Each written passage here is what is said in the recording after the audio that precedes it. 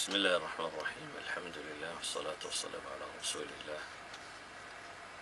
kilibkan yar waxaan uga dan leeyahay inaan tashjiicino dadka walaalaha muslimiinta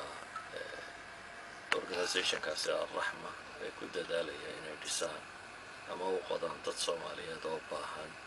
oo harraad laayay ceelal biyood in loo qodo iyadaynu ognahay nebigu calayhi salaatu wasalaam inuu sheegay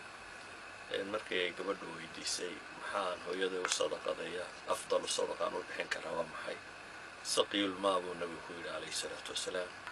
Biyaha dadku ay cabayaan u sadaqee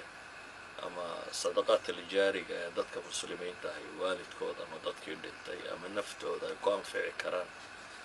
Waxyaabaha ugu waaweyn waxaa ka mid ah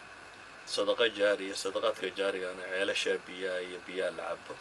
qof haraadan oo bini aadama qof haraadan daaya nebigu calayhi salaatu wasalaam wuxuu inoo sheegay in gabadh baqiyaa ama xun ama nin xun dembigii ilaahay uu ku dhaafay ey haraadan oo u waraabiyey. Haddii eygu sharciga islaamiga uu yahay xayawaanada ugu liita in la waraabiyo lagaga helayo in janno lagu galo waxaan qiyaasi karnaa markaasi. Qofka muslimkii neef xoolaa ama qof bini aadama inuu waraabiyo ama uu biyo siiyo khayrka ay ku jirto.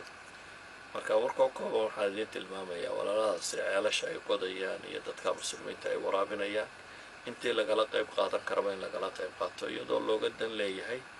in ilaahay subxaana wa tacaala loogu dhowaado jannana lagaga raadiyo. Sala allahuma calaa nabiyi muxamedin wala alihi wasaxbi wasalam walxamdu lilahi rabbi alcaalamiin